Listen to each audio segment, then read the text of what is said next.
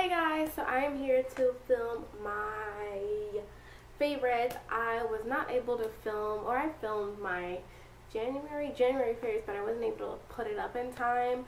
So I'm just going to do kind of like a combination of my January and February favorites and show you what I've been loving for the past couple months. So I'm going to just go go ahead and get into it so the video is not crazy long.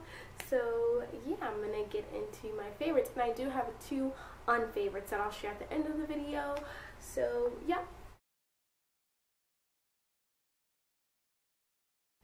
My first favorite has to be, I guess I'll show you both.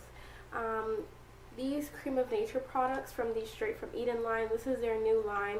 It is um, more of like a natural based product line that Cream of Nature came out with, but it's really nice because it's geared towards relaxed hair. Um, my specific two favorites from the whole line will have to be the um, plant-derived tangling leave-in conditioner. This leave-in conditioner is so amazing. It's so so good. I love it. Um, it's not heavy. I really can't stand a lot of leave-in conditioners because they leave my hair feeling heavy or like when i blow dry my hair they leave like a film on my hair. So this is like one of the first leave-in conditioners that i absolutely love. I even use it on last night I went ahead and I, I co-washed my extensions and I actually sprayed this on it and it made my hair my um, extensions super soft. I sprayed on my own hair before I blow dry and it helps with the you know moisture loss when you're blow drying your hair. It's just a really good product. It's it's really liquidy but it, it's really good. It has the coconut, avocado, and olive oils um, that run throughout the whole line but this is good stuff. And then the next thing that I absolutely love would have to be the plant-derived repairing oil. Again, it has the coconut, avocado, and olive oil in it and this is specifically alcohol free which is great. You don't want to have um, especially in something that you're trying to moisturize your hair with you don't want to have a lot of alcohols. Alcohols are super drying. Uh, this doesn't have any alcohol in it and it's really good and I use it every single day and I've only used that much. So a little bit goes a long way and it doesn't weigh your hair down. Even me using this every day on my you know relaxed hair that I wear straight using it every night. Um, at the end of the week my hair is not like really greasy and weighed down and it doesn't feel like it has a ton of product buildup on it. So I absolutely love this and the way that the whole line smells is just but yeah this product is really really good and I recommend it like I recommend it to everyone. Okay so moving on along I am do I have any other hair products um, no no more hair products we're gonna get into skincare. So I have been loving um, this. I've only been using for a week, but I love it. Um, or two weeks. This is the Estee Lauder Advanced Night Repair. I think everyone and their mom knows this serum. Um, it's been around for a really long time, but it's really, really, really good. And you just put it on your skin at nighttime. It's a really good serum. It doesn't feel like anything. It doesn't break you out. It's not heavy, and it sits really well under moisturizer. So I really like it a lot. So um, my next skincare item has to be the Kiehl's that I've been loving. It's the Kiehl's Sodium PCA Oil-Free Moisturizer. This is for normal to oily skin, not for dry skin. I have really oily skin. And I was using the, um, oh you can't even see that, but I was using the um, Kiehl's, it's the moisturizer that they're known for. I'm trying to know why I'm drawing a blank. The Kiehl's Ultra Facial Cream.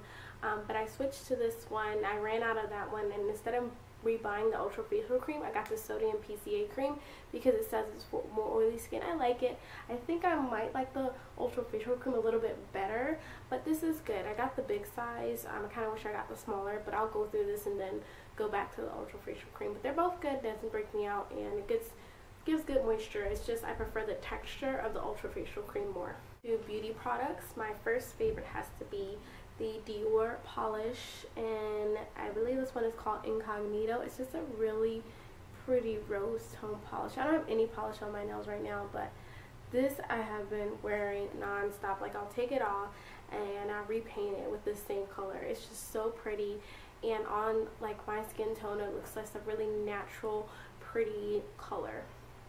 Love that color.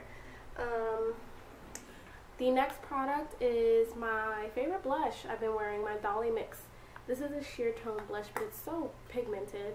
And it's like super duper pink and on my skin it looks really good and if you aren't afraid of color this is a really pretty blush it makes your skin look like fresh and I just really like how this looks it, it reminds me of like spring and summer and I'm already um, you know ready to go into spring and summer um, I can't wait but love that color this one is again Dolly Mix I love this palette. This is the Lorac um, Little Lace palette in Ravish. I have been wearing this so much and I got it last month and I already have a dent in like most of the eyeshadows and it just it just works like every single day I have it on today I'll just pop this palette out and I can get any look that I'm going for with just this palette and I love it. I haven't been pulling out my Naked palette, my Naked 3. This is what I've been honestly wearing and I love it. The only thing is I broke it. I don't know how. Maybe I dropped it and I just, I don't know but like the hinge on this side is broken now you can probably see it's cracked there so I mean it still closes but it's a little it's broken I'm so sad but I still love it okay my next item is a mascara it is the Le Volume de Chanel this is their newest mascara it's for volume let me show you the brush it's just a really good mascara. It gives you like lots of volume. If you don't like that like spidery lash look, you might not like this, but it's really, really good and I like the packaging. Who doesn't like Chanel packaging? But it's a good mascara. I like it a lot and it's the same as if you bought like a Dior or YSL or even like a Benefit mascara. They're all along the same lines. They're like $30 but well, well worth it and this is a wet mascara so it's going to last a long time. I like it a lot. Okay, my next favorite in beauty has to be the Clinique. I'm sorry, I'm holding it upside down because I am finishing it. I only have a little bit left. This is the Clinique Pore Refining Solutions. Um, this is a really good makeup. I'm I actually pulled it out again because I want to go through all of my old makeup and kind of just use what I have. So I'm trying to finish up some of my foundation. So this was one of the foundations that I wanted to kind of get rid of and use up because I hadn't been using it a lot. And I really like it. Like, it gives my skin such a really nice look. It's not, it doesn't give you a matte look. It's like a semi-matte, almost a satin finish, and it makes my skin look perfect. It's a pore makeup, so it's designed to kind of camouflage your pores, and over time it's supposed to help the look or appearance of bigger pores. I don't really believe that, but it does look really good on the skin, and it I, I, like it. So um, when it's gone, maybe I'll repurchase it. But it's good, and I used the color 20 Deep Neutral.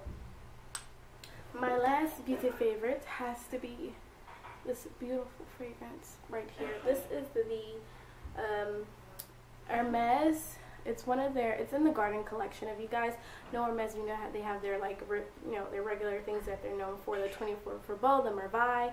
Uh, but this is in their garden collection. This is the um, Un, uh, I'm not even going to embarrass myself, but this is the Mediterranean garden one. They have the uh, Sur le and they have the Sur Neil. The other ones, there's like three or four in that collection, but this is the Mediterranean one. This is the heaviest one in the collection. It is so fresh, so green. I just, I really love this. Oh my god.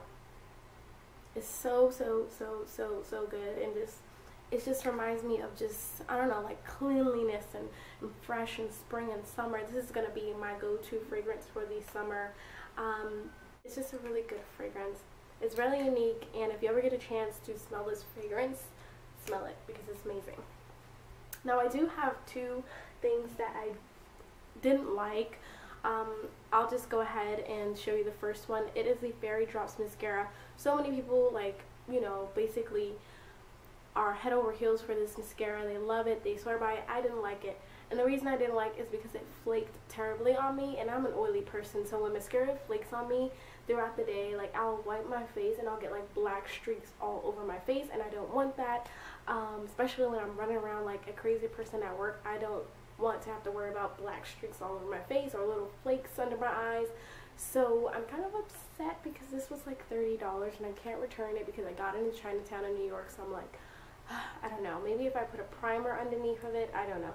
I'm going to try to make it work, but, or use it on days where I'm maybe not working or doing too much, but I don't like it. Um, the next thing, the last thing that I don't like is the H2O Sea Salt Hydrating Body Butter. I was trying to find um, a replacement for my Kiehl's Creme de Corps lotion.